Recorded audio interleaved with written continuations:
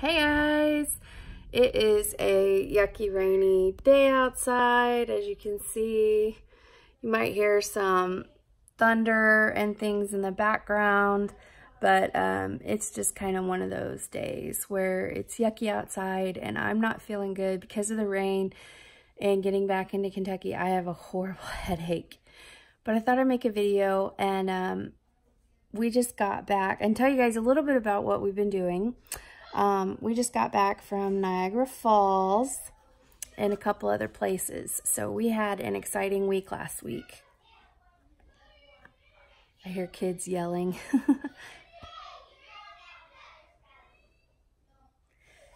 Ammon! Anyway, um, we went on a seven-day road trip. We went from Kentucky to four hours away to Kirtland, Ohio, which is a church history place for us. We are members of the Church of Jesus Christ of Latter-day Saints or Mormon, um, however you remember it. But we went there first and then we went up to Niagara Falls, see? And then we went to um, Palmyra, New York, which is another church history site, a couple of sites for us. And then um, we had a two-day family reunion for Brandon's side of the family in Bath, New York. So, um, yeah, then we drove all the way home in one fell swoop down. I made a couple of videos that I've been posting. I'm going to keep posting those that I just got some little snippet, snippets of every day that we were gone just to kind of show what the family went through and those types of things. Um, show how we road trip and let's see, some of the things I wanted to talk to you guys about today is some tips and tricks I learned along this trip. Um, number one, make sure you have a charger for every piece of tech that you have. Um, and make sure that you also have a car charger for all of the tech that will be used in the car. We don't have a video player or anything in our Flex, which is what we drove.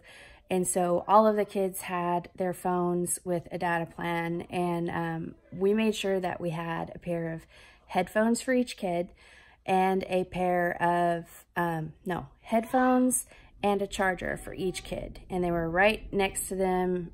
And I bought these little buckets that could hang up on the um, handrest. There's a little hook on each one. And so I went to Dollar Tree and I got a different colored bucket for each kid. They were only about this big and they could keep their charger and their earbuds and all of those things that they need, a snack or two. I'm gonna have to deal with the kids. They're screaming right there above their head. Um, secondly, I would suggest doing um, wireless headphones. We had those as well because when they want to charge their phone on an eight hour trip, they can't put their earbuds into where they charge if they have an iPhone. So that was frustrating. And our kids right now, I mean, a couple of the kids were obsessed with watching Captain Underpants and it drove me nuts the whole ride home. So that had to get turned off. I don't really like that show anyway. Um, another tip is to color code everything. Uh, each kid had their own colored backpack and their own colored water cup and their own colored smoothie cup and uh, as much of the color code as I could get because it was easy. We did laundry twice, um, yeah, while we were gone. So we did it on our fourth day. The hotel we were at had a laundry and we did laundry there because we only took four days worth of clothes. And then right before we came home, we did laundry again so that when I got home, I didn't have to do, you know, 10 loads of laundry. And that was good because I'm tired. I know after trips with my lupus and everything, I get really, really tired. I usually get sick. So I need a day or two to recuperate. So it was nice, even though it was a little bit expensive, but it was nice to have that laundry done when we got home. Um, we, another tip is to have two sets of swimmies. One for, uh, one is wet and um, they swim in it. And then the next day you have a dry set of swimmies if you have the packing space. Kids are going nuts today. Another thing I learned that I did not do this time, which I totally forgot. Um, if you have something small that's toy or hand busy type stuff, like um, I usually take a large Ziploc bag that's about half full of Legos. I didn't do that this time and I really regret it because it would have given them something to do um, as we drove. The kids love Legos and they usually don't get dumped around the car, but they build little things and it keeps them busy. Hunter, come here. That's not very nice.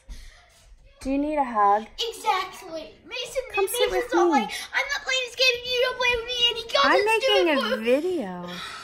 Please don't. Let's cut this out. I Take it, take a breath. Come here, sit by me. don't want this Come here. I don't want to fit. It's okay. This is life.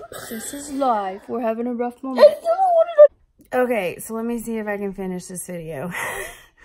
There's all kinds of drama in our house all the time. So, um, a really big tip that I like to, that we learned years and years and years and years ago is that right before you go on a trip, find time to go to your public library. Get some audiobooks and um, a book that y'all can read together in the evening to get them off of the TV and their tech and um, but make sure that you get an audiobook that the family can listen to on the way and that's where having the legos or something that they can do with their hands like drawing or coloring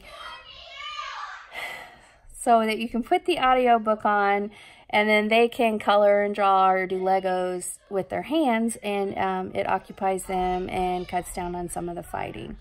So i'm going to stop there because kids are still fighting in my house hunter wants people to play with him on roblox and everybody else is playing a different game so it's a lot of drama anyway talk to you guys later make sure you're watching the videos of our trip so that you can see some of the things that we did together as a family bye Take a breath. It's okay to be upset, but it's not okay to yell at people, okay?